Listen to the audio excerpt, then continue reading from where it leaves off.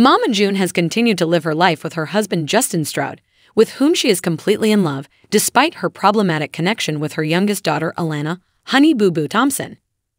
Days have passed since the explosive podcast that featured Alana with her sister Lauren and brother in law Josh aired when she went out on her night out. The 43 year old Alabama native chose to ignore the criticism and treat herself to a lavish dinner date instead. Mama June went on social media with her hubby to share her lovely dinner date with her followers. Fans expressed their admiration. After spending a special night out with Justin on December 12, Mama June posted on her own Instagram account to suggest a high class luxury restaurant.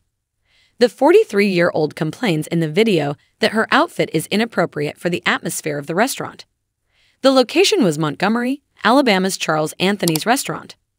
The reality star describes their orders and displays her food while Justin eats.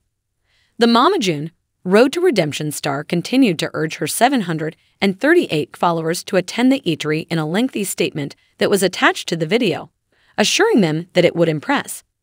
Even though I felt significantly underdressed, she stated, I didn't feel any different because it's a pretty pleasant location. I really enjoyed that, but as I've already mentioned, if you want a wonderful supper that won't break the budget, the location is here. Mama June was happy at the restaurant, but her supporters weren't persuaded. Others chose to focus on Justin's knife abilities. In a guest appearance on Bunnie DeFord's Dumb Blonde podcast, Honey Boo Boo and her sister Lauren Pumpkin discussed some of the difficulties they had while living with Mama June. Mama June was caught and given a narcotics possession term in 2019, which resulted in her losing custody of her daughter. Her older sister Pumpkin has been caring for her Honey Boo Boo ever since.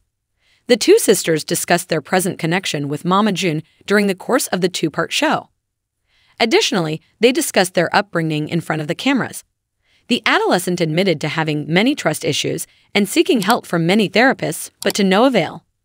Alana also talked about her experiences growing up in a trailer park with roaches and how their incessant bickering harmed their mother daughter relationship.